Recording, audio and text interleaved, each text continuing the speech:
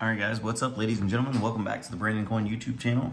Was up late last night playing around with uh, the BitDSK, which is the little mini, um, like BitAxe style uh, miner, but it doesn't run regular Axe OS. It runs a different version. So I was gonna say, why couldn't I update it to regular Axe OS? It might just brick it, but you know what? This might be a short video. So anyway, this is the, uh, the layout for the BitDSK. I, I, looked and see they don't have any new firmware available. So I uh, downloaded the latest um, AxeOS update, which was 2.12.0b1. And we're gonna go over to BitDSK and it's looking for a little bit different of a bin file. It's supposed to say bitdisk miner.bin instead of esp miner.bin. So I renamed the the file that I downloaded, the the the BitAxe, the AxeOS file, and um, yeah, so there it is. Let's hit open and let's hit update.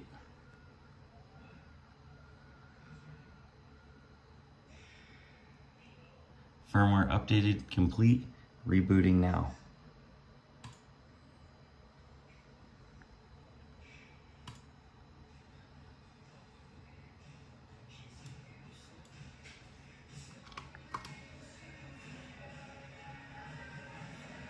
I think I just bricked it. All right, so can you put regular AxeOS on your BitDSK? No, it doesn't look like you can.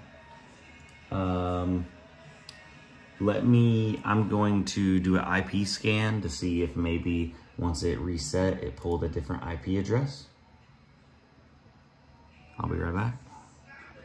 All right, guys, so um, looking into it, it shows up on my IP scanner that it's online and connected, uh, but it doesn't show that it has a um, any kind of GUI or anything to connect to. So that is unfortunate. Um, it looks like there is a way to get into a boot flash mode, just like on the BitAxes for the BitDSKs. I don't know if the process works for them the same. Luckily, I do have a backup of the original BitDSK firmware, so I'm gonna play with that. And um, yeah, yeah. So if you have a BitDSK, do not flash regular Axe OS firmware onto it. Word, word to the wise.